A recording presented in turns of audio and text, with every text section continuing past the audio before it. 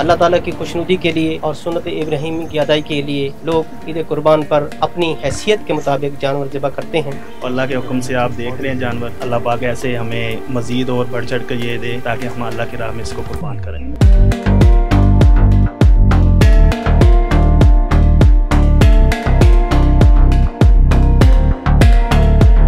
चूँकि इनका वज़न ज़्यादा है तो इनकी जगह कोई नरम भी बनाते हैं जी, बिल्कुल, इनके इनके लिए गद्दे बनाए हुए हैं हमने, अंदर भी और बाहर भी। इसे टाइम से चारा डालना पड़ता है और नहलाना पड़ता है। सरसों, पनीर तारा मीरा ये इन्हें ठंडा करता है, वो देना पड़ता है इन्हें।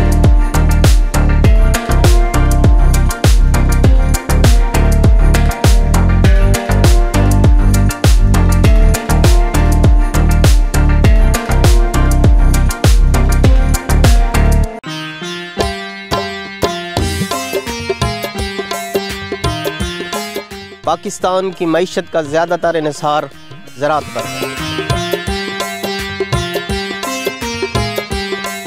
मगर ज़रात को किस तरह जदीद खतूत पर उसवार करना है, इसके बारे में बताएँगे हम ज़रूरी माहरीन और तरक्की पसंद काश्तकारों के साथ।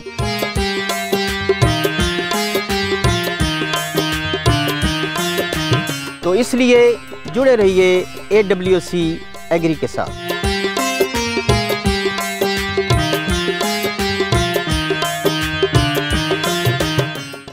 बसमीम अल्लाम नाजरीन ए डब्ल्यू सी एग्री के साथ मैं हूँ आपका मेज़बान ताहिर नदीम। नाजरीन, अल्लाह ताला की खुशनुदी के लिए और सुनत इब्राहिमी की अदाई के लिए लोग ईद कुर्बान पर अपनी हैसियत के मुताबिक जानवर ज़बह करते हैं। लेकिन आज हमारे साथ एक ऐसे बिजनेसमैन जो टेक्सटाइल की मसनूआत की एक्सपोर्ट से वाबस्ता हैं वो हमारे साथ मौजूद हैं, मोहम्मद ताहिर साहब।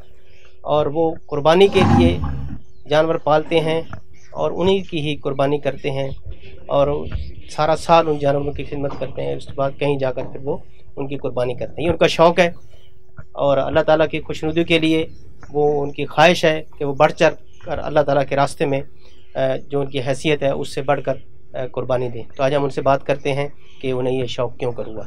अस्सलाम वालेकुम। सलाम। ये पाँच से छः साल पहले ये शौक़ आया था हमें, जिसकी वजह से ये शौक़ हमने शुरू किया है।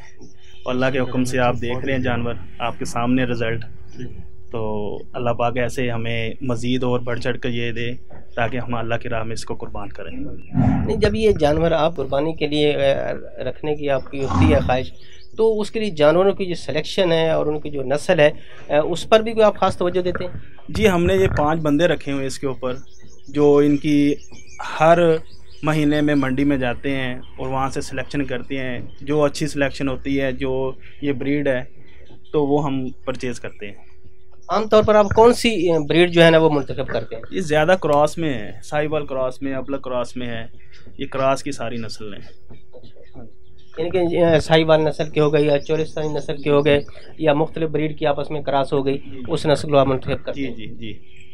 तो कितने उम्र का जानवर आप लेकर आते हैं और फिर को ऑनवर्ड उसकी आप परवरिश करते रहते हैं? इस साल जो होती है ना साल की एज वो हम परचेज करते हैं। फिर उसको उसको मज़ीद हम दो साल हम खुद पालते हैं। फिर जैसे उसका टाइम आता है ईद पर ईद पर उसको फिर कुर्बान करते हैं। आमतौर पर जो जानवर आप ईद पर कुर्बान करते हैं उसकी कितनी उम्र आप रखते हैं? इतनी उम्र का होना चाहिए जो ज़िबा करें। जो हमारे पास जो हम पालते हैं उसको मैक्सिमम दो साल पालते हैं। और मैक्सिमम उसकी एज लगा लें तीन साढ़े तीन साल या चार साल होगी। जानवर की। हमने ये देखा है और सुना भी है यहाँ गाय भी है बंधी हुई हमने देखी है कि इन जो जानवर आप पालते हैं इनको चारा डालने के साथ साथ आप गाय भी आपने रखी हैं जिनका जो दूध है वो इन्हीं को ही आप पिलाते हैं। माशाल्लाह छः गायें रखी हैं इनके लिए और सारा दूध इन्हीं को जाता है। और दूध देसी घी मक्खन चारा गंदम ये सब कुछ इनको दिया जाता है तभी इनकी ये चीज़ सामने रिज़ल्ट आता है अब। तो इनकी देखभाल के बारे में बताएँ। ज़ाहिर है, ये भी जानवर है, इंसान की तरफ़ इंसान भी बीमार हो जाता है, जानवर भी बीमार तो इनकी देखभाल के लिए जो इनकी सेहत को मद्देनजर किसी डॉक्टर की भी आपने सहूलत ली हुई है, खिदमत हासिल की हुई है? जी, दो डॉक्टर रखे हुए इसके लिए, जो सुबह और शाम को इनकी सेवा के लिए आते रहते हैं। जब भी इनको कोई मसला मसाइल होता है, इंजेक्शन, वैक्सीन वगैरह, मेडिसन वगैरह, वो इनको हर लिहाज से दी जाती है। हमारे यहाँ मौसम बहुत सख्त है। यानी कि सर्दियाँ बाद में बहुत सख्त हो जाती हैं शदीद सर्दी हो जाती है और गर्मी का मौसम तो बहुत ही गर्म होता है।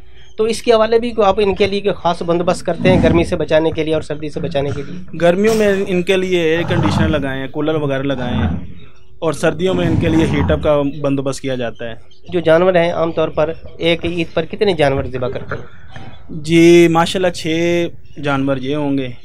बड़े जानवर बाकी छोटे जानवर होंगे बकरे वगैरह। इसके साथ साथ जानवरों को रखने के साथ साथ और आपका क्या हाबी है?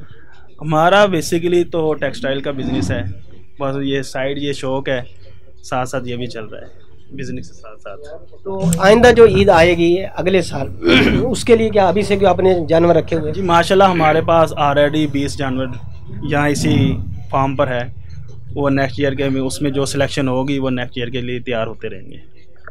यानी कि आपने 20 जानवर लेके रखे हुए हैं और फिर अगले साल के लिए उन 20 में से फिर उनमें से इंतखाब करेंगे छः जानवरों का जो अगले साल ज़िबा करेंगे। हाँ जी हाँ जी बहुत बहुत शुक्रिया मोहम्मद ताहिर साहब।